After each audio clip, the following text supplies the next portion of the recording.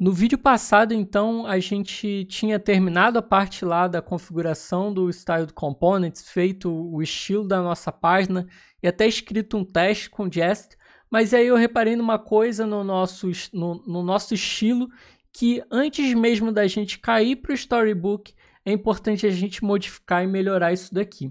Repare só, ele de fato ele passou aqui os styles né, do, do nosso styled component, só que ele só passou a classe, eu sequer consigo saber se de fato são os estilos certos ou não.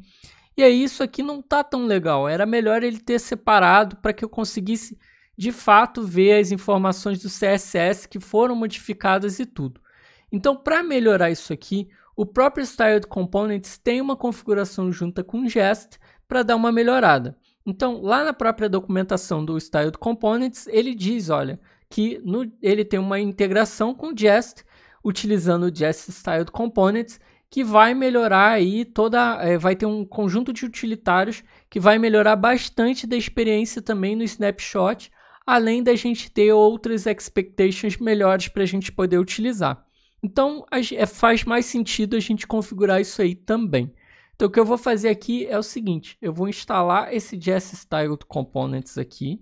Então, vamos lá para o nosso editor, vou rodar um yarn add traço traço dev Jest Styled Components. Então, ele vai instalar isso para mim. E aí, olha só, ele aqui fala que eu preciso importar para poder rodar os testes e tudo. O que eu vou fazer, ao invés de importar componente a componente sempre, vou pegar isso aqui e vou botar lá naquele nosso setup do Jest. Então aqui, toda vez que ele for é, iniciar um teste, ele vai botar isso aqui para a gente no teste. E aí agora, se eu rodar o nosso teste de novo, ó, o Yarn Test Watch, veja que o nosso snapshot vai quebrar e vai avisar. Ó, ele disse que não tem nada, afinal de contas, eu não cheguei a mudar nada, então vou mandar rodar todos os testes de novo. Aí sim ele rodou. E reparem, agora ao invés dele botar só os títulos, ele botou um C4, C3, C2, C1, C0, mas aqui em cima ele botou os estilos mesmo, olha, reais aqui, já configurados, inclusive para a gente verificar se de fato ele está fazendo a, a, transformação aqui para poder botar os prefixos e tudo. Então isso aqui é muito mais informativo e melhor do que a gente ter simplesmente só um style dessa forma. Então eu vou realmente atualizar, eu vou apertar o U, ele vai atualizar o snapshot aqui, ele mudou o nosso snapshot, olha só.